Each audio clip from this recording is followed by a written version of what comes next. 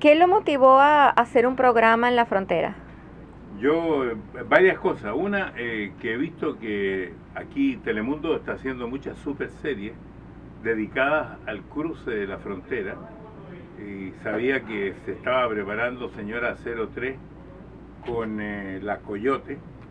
Y pensé que esos temas son temas, son temas que la gente escucha pero que no conoce bien y decidimos hacer un programa especial en la frontera entre Tijuana y San Diego, donde está el Parque de la Amistad en Tijuana y The Friendship Park en eh, la parte de Estados Unidos.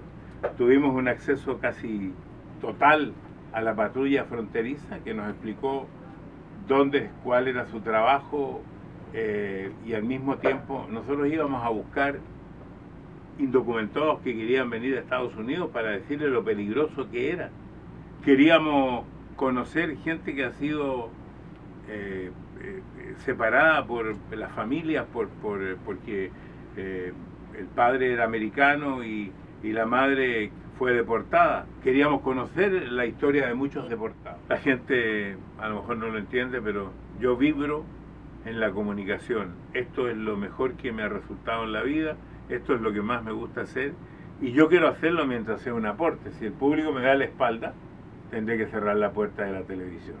Pero si no, voy a quedarme mientras pueda.